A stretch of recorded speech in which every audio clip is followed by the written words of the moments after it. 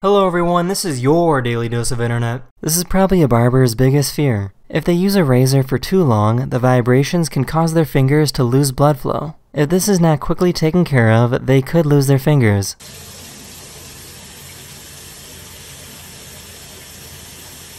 This guy thought climbing without ropes or gear was a good idea. Dude, dude, dude, dude, dude, dude. Okay, calm down, calm down. Shut up! Got it. Focus. Where do I put my hand? You're saying you got this. Dude, where do I put my hand? Get your right foot up. Dude, Get your right Dude, foot I up. can't. Get your I, right foot up. I, I can't.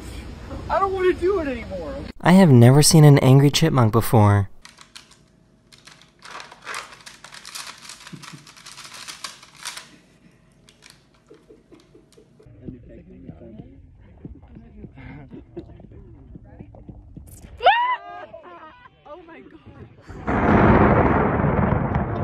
I found this tortoise that hates the color black.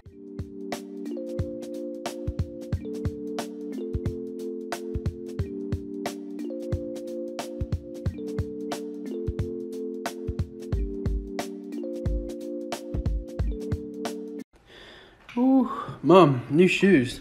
What are you saying? No cap. All I'm seeing is flames. My guy. Keep up the drip, my G.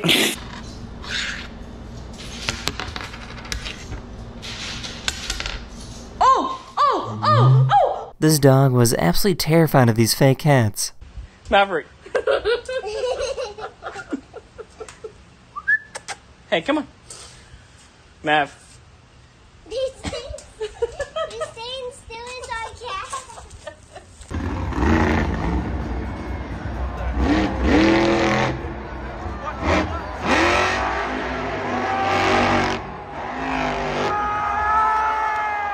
This professional stunt driver wanted to make the fastest garbage can ever made.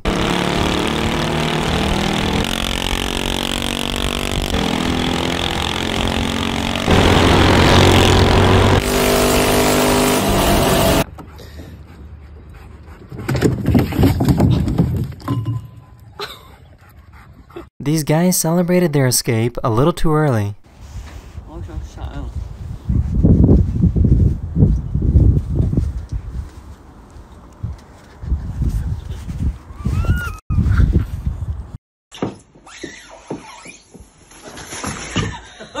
All these people have introverted and shy dogs, so they wanted to see what would happen if they brought them all together in one place.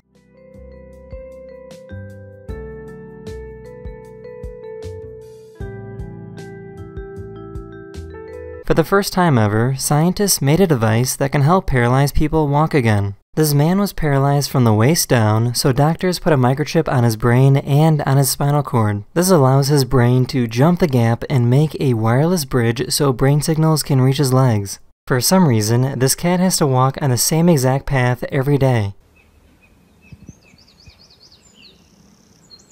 That is the end of this video, or we hope you enjoyed, and I'll see you guys again very, very soon. Later.